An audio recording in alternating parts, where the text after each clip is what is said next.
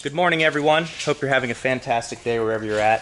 Like I said in my previous video, we are installing a NEMA 14-50 plug. It looks like this. Purchased this from Tesla for $35. They shipped it to me.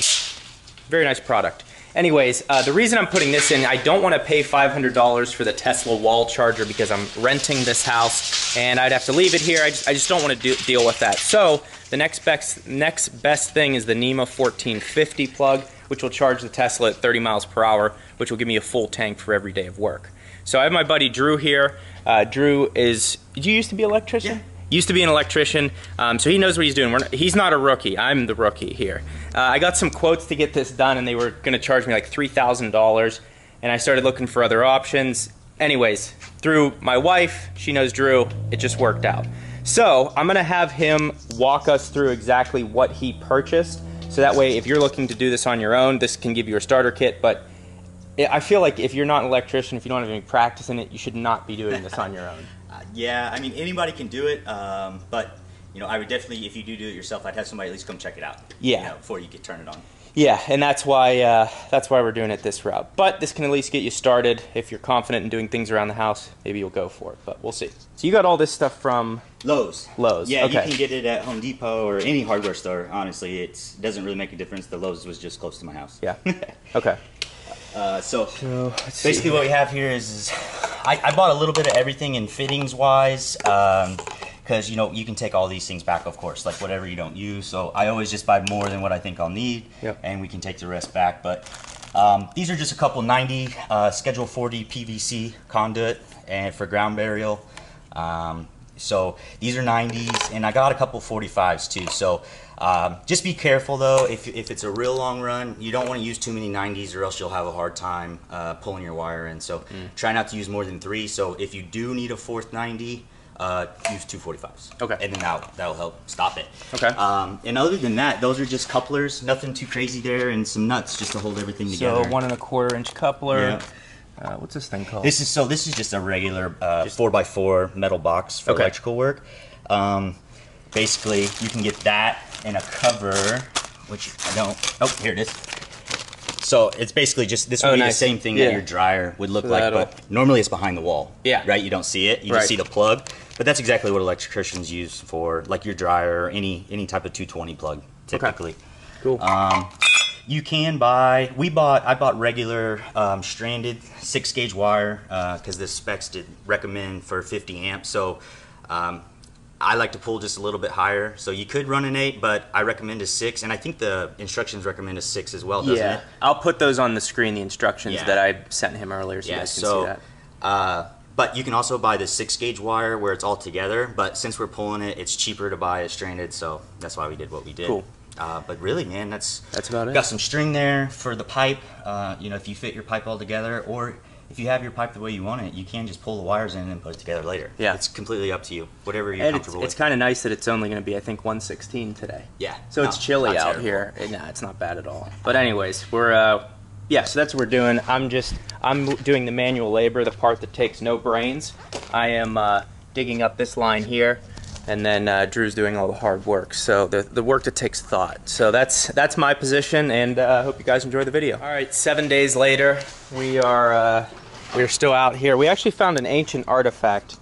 We found this little milk jug possibly from the early 21st century.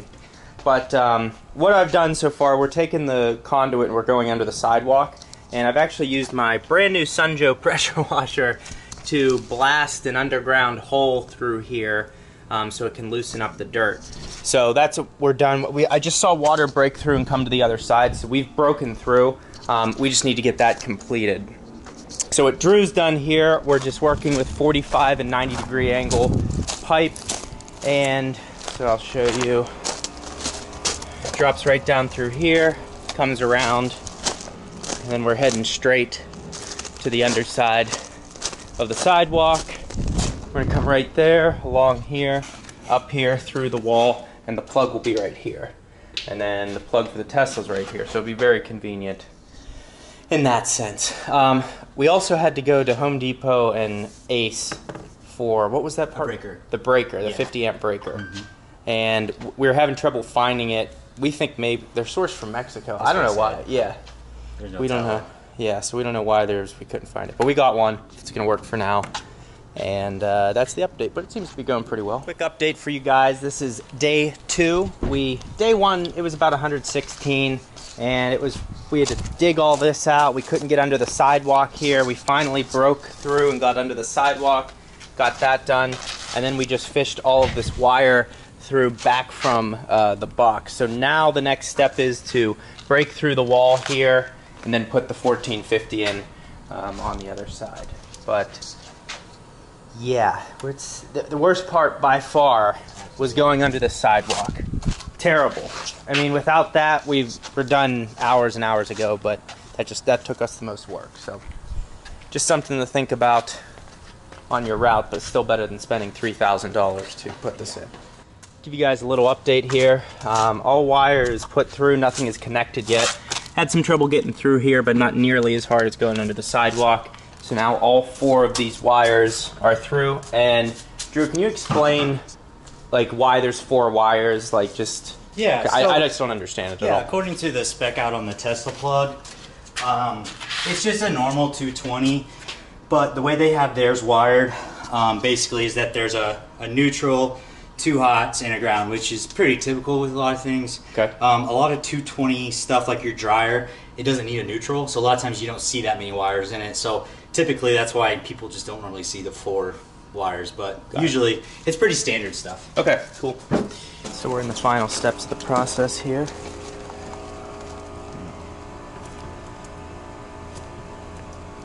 Yeah, so it's just uh, white to white, green to green, and then these two hots go on the breaker. Cool. Pretty simple, man. Nothing, Alright. nothing crazy. And you can see over here, you got the green side, the white side, and then those two hots will go kind of like this. And you probably already have a breaker in your box that looks very similar, so just copy it. Okay. Cool.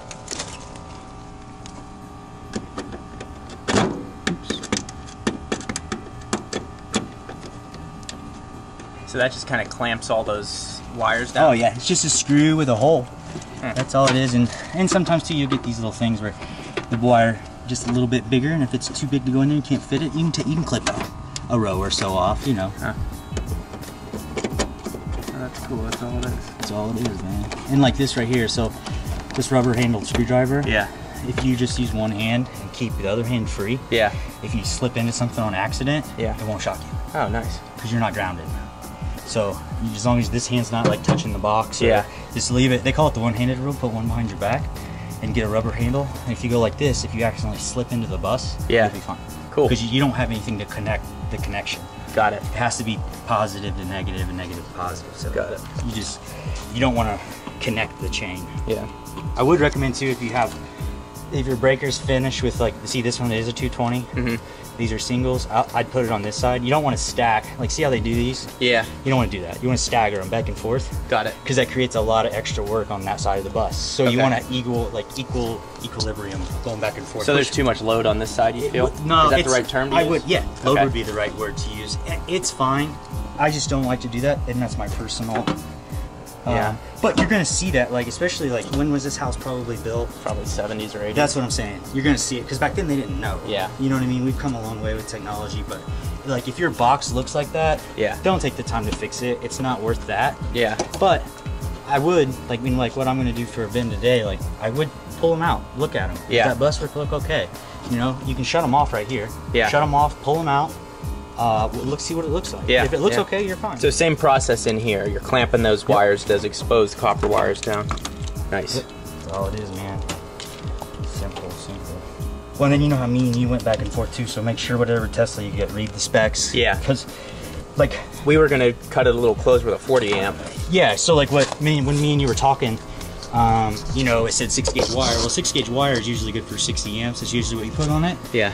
But then you know when you send me a specs, it said 50, right? So make sure you put it on what they Just say. do what they say, on. yeah. exactly. And again, um, a lot of that too is just for safety. You know what I mean? Like, Yeah. They're gonna overwork it because you know there may be the possibility that you know um, you're always gonna have it, like a storm, you get a surge Yeah. or something like that. So what they're trying to do is is they want the the wire to be able to sustain a surge, but they want this breaker to trip first. Yeah. So this is your first line of protection. and then that plug will also have protection. And then I'm sure somewhere in the Tesla has another some sort so in the. Tesla, you can actually hit plus or minus for how many amps you want to pull. Right. So you could even charge it 20 miles an hour just to make sure you're not going anywhere near the max. Exactly. So yeah, That's they, exactly what it is. Um, they are just protecting protecting your investment. yeah. Let's put it that way. That's a good way to put it. Sometimes them things, and you will come across it. Um, what it is is they'll be uh, they're stiff because like they want a good seated connection, so they make them really good and tight. Mm. You know what I mean? So Yeah, so that way no one's gonna bump into this and knock it loose. Exactly. Make sure I'm getting it right. We're about complete here. The plug is in. And we're just gonna go finish up with the box. And then moment of truth, see how many uh, miles per hour we're charging it. All right.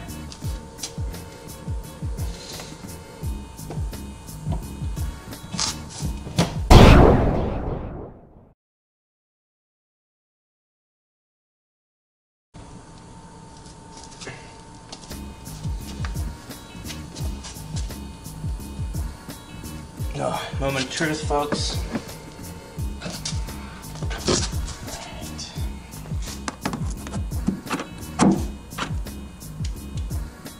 Negotiating, negotiating, negotiating. We're green.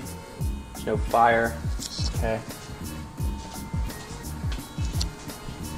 Let's get this thing unlocked. Just did it now, so there you What's it go. It's going 239 volts at 29 miles an hour, 27 miles an hour. Is so that that's good? right Yeah. on. That's what it is. What's supposed to 30 is what it's supposed to be. Okay. Perfect. So we're dead on. Let me on. go. Let's go. So what's it doing here? So it should have 30 a leg. So you got Yeah, it's that's what it does. It pulls uh, 32 amps is what I think that we read. Okay, so 30, 30 a leg. So I'm I'm running high on this side. Okay.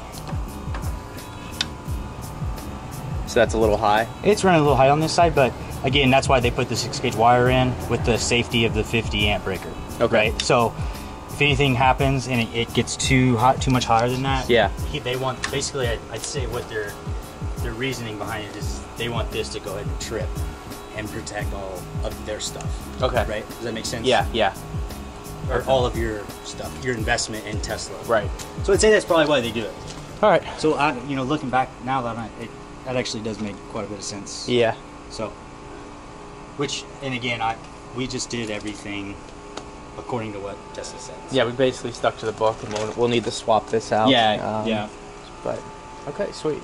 Yeah. If you have a square D Homeline breaker right now, there's a shortage. So if you can't find one, don't Yeah. feel bad about it. Yeah, couldn't 'cause we, we searched all of Arizona. Absolutely. Well, it's mission accomplished for now. Uh, there's a couple things we have to change up here. We have to tighten this up, make it a little more flush. Probably gonna have to go back in and cut the wire, make it shorter. But for the most part, it was charging at 29 miles per hour as expected. Um, it's it's great. Everything's running great, and I'm really appreciative that Drew was able to help me out with that. So, uh, yeah, Tesla's set, but for you ST homies, ST is still out here. Uh, and I'm actually going to wash it up right now so I can get some pictures and post it for sale. It's a little dirty. Uh, the interior is pristine. Just going to post, uh, you know, clean up the exterior and get it in good shape for when people uh, start coming to take a look at it. I do have it posted for sale and OfferUp right now, so if you're interested, you can check it out there. But uh, yeah, hope you guys enjoyed that video today. A little how-to for DIY. But again, I, I wouldn't.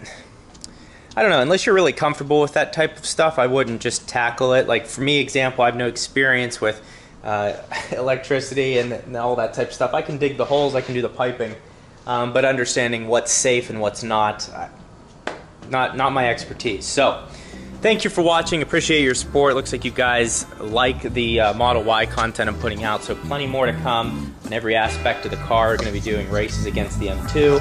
I'll be taking it to the canyons, all that type of stuff because uh, it's a fun car to drive and I want to experience all of that. Thanks again. We'll see you in the next video.